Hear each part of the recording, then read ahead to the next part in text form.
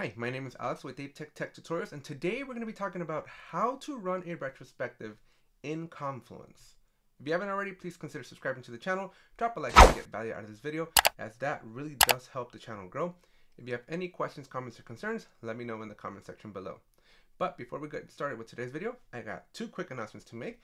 One, as you can see, I have some t-shirts, so check out the link in the description below get one. I have a few different designs. Get one of each. Get one for your coworkers. Get one for your teammates. Get one for everybody you know. Help support the channel. And number two, I also now have paid trainings. So if you're interested in that, check out the description below and you will get all the information you need on my paid trainings. All right, with that said, let's jump into Confluence. All right, so today we're going to be inside of Confluence. Specifically, we're going to be teaching you and walking through how to run retrospective inside of Confluence. When you're running retrospectives, you have pretty much any method that you want to use. I personally prefer being in person because that's the way I feel like I built the greatest camaraderie with my team.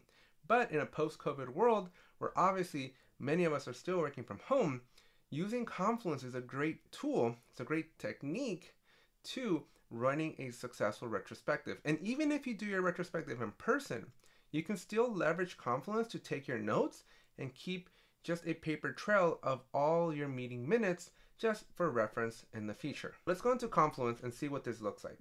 So within Confluence, I don't know if you knew this, but you actually don't have to jump straight into a blank canvas. Confluence has a template already created for you. And I can click on templates here. And if I type in retrospective. I'm obviously already on there, but if you just don't have anything here, you can basically click this little search bar and then type in retrospective and it's going to find you two different retrospectives. You do not want to use the 4LS retrospective. That's for something else. We're specifically interested in the retrospective that is with the green icon that is for software development and IT. So all you got to do is use this one. This will create a blank page for you. And now we're inside the retrospective page. You can close out this template. We won't need that. That way you have full screen for your page. Now give this a title. Typically I just name it the day of the retrospective, but you can really name it whatever you want. So this is my retro. Down here, these are all built in. So this is part of the template. This isn't anything that I created special for this. If you are in Confluence Cloud and you go to your Confluence, you will see these exact same page configurations. So at the top, we have a page properties with the date. And so you can come in here, click inside of it. And once you click in there, you can just double slash slash for your date. And then you can put today's date, whatever you want to do there. If you have special names for your teams, if you're creative and you have that flair in your team, go ahead and put your team, team awesome is what I'll call mine. And then this is pretty important. When you notify or when you mention somebody inside of Confluence by doing at and their name, Confluence, when I hit publish on this page, is going to send an email to everybody in your team. Now, this is a pretty cool little feature because everybody in your team is probably going to want to refer back to what was discussed or any actions that were taken. And so by mentioning folks, when you're done with your retrospective, it's automatically just going to email out the, the page so that people can always go back and reference it and check and see if anything of importance was said that they need to refer back to. So make sure that for every person in your meeting that is present in your retrospective, you're tagging them so that they can get that notification later. I won't mention anybody because it's just a team of me because if I just put me, then it's me. Now, this is where things get interesting. These last two sections, the retrospective and the action items, this is where the magic happens. So by default, Confluence has this start, stop, keep doing. I don't like it. It's not the one that I use personally, but it's effective. You talk about things that you should start doing as a team, things that you should stop doing as a team, and things that you should keep doing as a team. And keep in mind that the retrospective is designed to be a ceremony where you're reflecting on the process. You want to keep in mind of where you've been, what went well, what didn't go well, and what could be improved. Or start, stop, keep doing. And these are important conversations to have because your team needs to be vulnerable. Your team needs to be based on trust as well. And when you have these very, very important conversations, when you talk about the hard things, when you talk about roadblocks that popped up, or folks that made that gave you bottlenecks or, or challenges that you face as a team or even as an individual, it's important to capture that information in your retrospective so that as a team you can grow. So that as a team you can overcome these obstacles and these challenges and you get stronger and stronger as a team. Now, I will say that to run a successful retrospective, not just a retrospective, not just to run one, but to run a successful one, to really create a high performance team, you need a strong scrum master. You need a strong leader, somebody with empathy, somebody with high emotional intelligence, because the retrospective can very easily turn into a blame game. When you don't run it correctly, folks will make this meeting a you it's we didn't we failed because of you. It's your fault that we did this. And you want to cut that right away because the second that somebody feels like they're blamed or threatened or something like that they're going to close up for the rest of the retrospective and if not all future retrospectives. And that is not healthy for the team. So make sure you have a very strong leader in place here to help manage these retrospectives. And my last comment that i'll make about the retrospective is this is a place for the team. This is a place this is a safe place for your scrum team so at a minimum or at a maximum, you should have the Scrum team present and the Scrum Master. Product owner, an argument can be made, but no managers, nobody that has any direct authority or influence over your performance, over your pay, your bonuses, none of that, because any of those folks that do have that level of influence will overshadow and cause the team to not really discuss their issues. And if they just keep piling up those issues that they're having, it's not going to be good for anybody.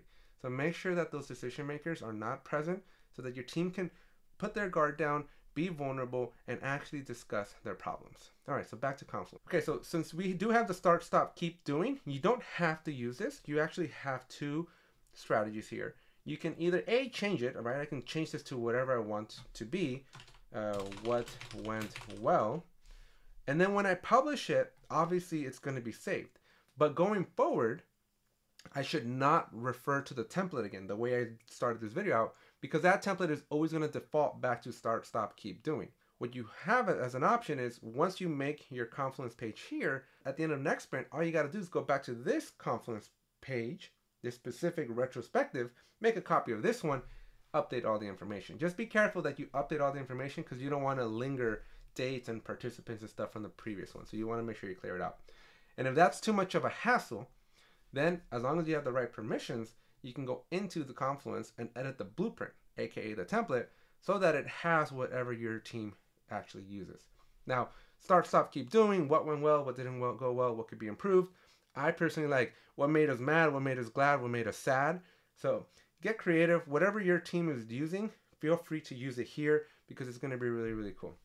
And the final part about this template is the action items. When you are talking amongst yourselves as a team, naturally, there's going to be a discussion about things that need to be changed. And someone is going to have the action to go make that change happen. Scrum Masters, your responsibility here is to ensure that those actions are taken care of during that two week period of the next sprint. What you should avoid at all costs is coming to the next retrospective with all the last retrospective's actions still unresolved. If that becomes a pattern where you all speak freely, you identify things that need to change, and then you come to the next retrospective and nothing has changed, and then you come to the next retrospective after that and nothing has changed even then, then your team will realize that after a couple of these, that no actions are ever going to be taken, and what's the point of even speaking up? Because they know status quo is going to be status quo. So if you want to avoid that, as a Scrum Master, make sure you're following up on these actions. Make sure you're scheduling the meetings having the hard conversations, talking to the right managers, talking to the right executives if you have to, to ensure that these actions are taken care of. But also do make sure that the actions have merit. Sometimes they're just complaints, and sometimes they don't have merit, but at least follow up. Follow up and get some data because it's easier to tell somebody, hey, I discussed with so and so manager, and this is the reasons why this is not going to be possible. But now we have facts and data. Now we can basically address that, hey, I at least followed up and this is why we're not going to be able to pursue this. Or maybe you have a compromise. We won't be able to do it like this, but after some discussions, maybe we can do this other alternative.